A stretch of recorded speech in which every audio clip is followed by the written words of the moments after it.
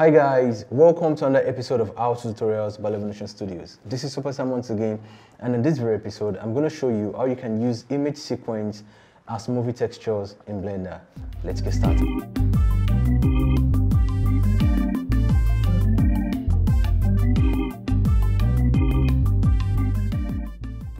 This is Ebun, and she's uh, definitely watching something on her TV set, and I want the movie she's watching to be my image sequence. Um, to make this work for you, first you need to have an object where you want your image sequence to be placed on as a texture. So in my case, I have this TV set. All right, and uh, there's a texture on this TV set. As you can see, I have an emission, right? And to work on this, I just want to go to my shading.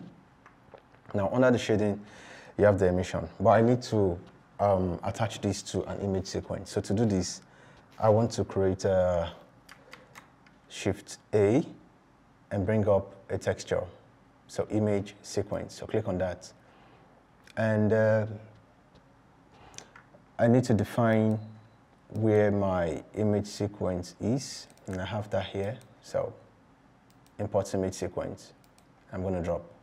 Okay, so now that I have this, I still need to add a bit of um, uh, texture settings to this. And to do so quickly, I'm going to use uh, Control T to take advantage of my Node Wrangler. And if you don't have Node Wrangler activated on your Blender version, you can easily do so by coming to Edit, go to Preferences, and then just type in uh, Wrangler, and it's going to come up here.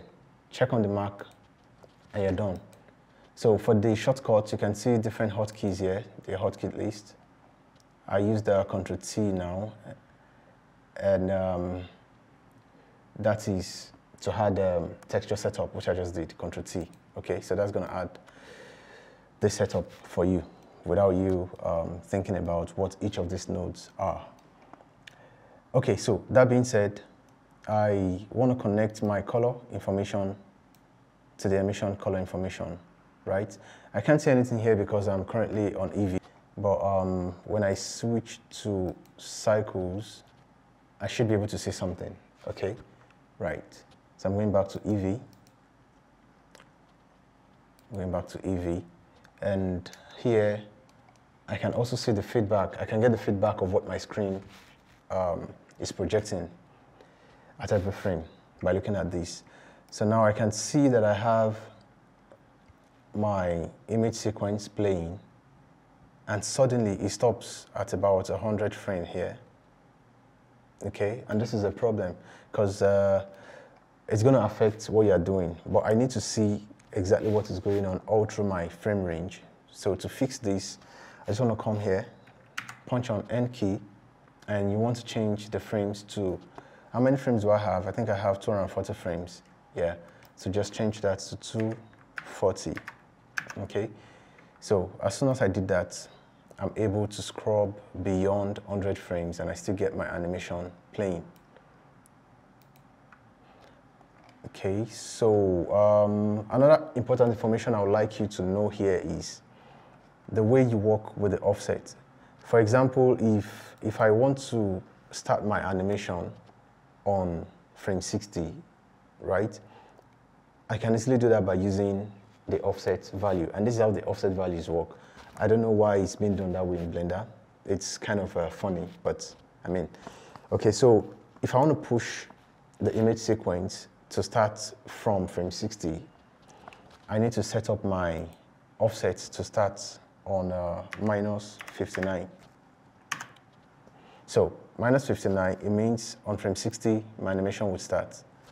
So if I go to frame 59, you can see there's nothing there. But 60 gives me something, so it starts from there. So back to zero. Now let me explain what just happened now. In your mathematical graph, you have the negative x to be on the left-hand side and the positive x to be on the right-hand side, right? So see it this way. My left I have frame 1, my right I have frame 240. So I want to push this a bit towards the right. It means I'll be going from the negative into the positive, right? It's just a crazy way of thinking about it so you can easily uh, recall. So you work with minus if you're pushing to the right, and then you work with plus if you're pushing to the left. It simply means if I want to push my, my animation, my animation is supposed to stop on frame 240. If I want to push my animation, if I want to offset it 10 frames backwards, right? That is from right to left, 10 frames backwards, I'm going to use 10 instead of minus 10. Okay, so that's the meaning. So um, to prove that to you, I'm just going to scrub this beyond 240 and see what happens. You can see beyond 240, nothing is going on again. So what if I want everything to stop on uh, maybe 230? Okay, this is 220. Let's see, 230. Okay, if I want everything to stop on 230 here, so I'm just going to add 10. Let's see. Offset of 10. The same thing happens. Okay, so on, on 230, I have my animation, but then 231, it goes off. So it means that I'm adding 10 frame offset, pushing my entire um, image sequence to the left. So that's why I'm having a positive sign. So if you want to push from beginning inwards, want to push from beginning towards the right hand side, use negative values. And if you want to push from outside backwards, you use the positive value. It's crazy to understand, but I mean, I think that's the simplest explanation I can give you. So I'm just going to go back to zero and make everything uh, look normal the way it should. Yeah. And um, I'm going to render this out for you to see what it looks like. So I already did my, my render. So this is what the render looks like.